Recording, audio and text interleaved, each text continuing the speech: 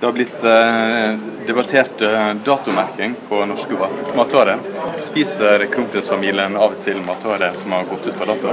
Ja, det gjør jeg absolutt. Du vet, Jeg har vokst opp med en mor som har snudd på hver eneste krone.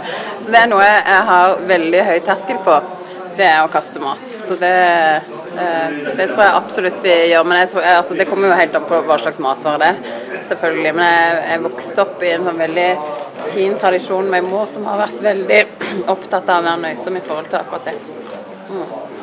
Kronprinsessa ble minnet på at det var veldig mange som, i Norge som eh, fortsatt går til eh, sengs sultne. Hva er din eh, reaksjon på det? Dette er jo en utfordring jeg vet mye om, fordi at jeg har jobba spesielt så tett med en organisasjon her i Bymisjonen som jeg har sittet i styret i. Så dette er jo noe jeg har eh, visst mye om fra før av. Eh, men eh, jeg tror det er veldig fint å bli minnet på det også, på en dag som i dag. For det er jo klart dette eh, er jo en del av det bildet å se både klima og miljø i sammenheng med at det ikke kommer til å være nok mat til alle hvis vi fortsetter å produsere på den måten vi gjør i dag.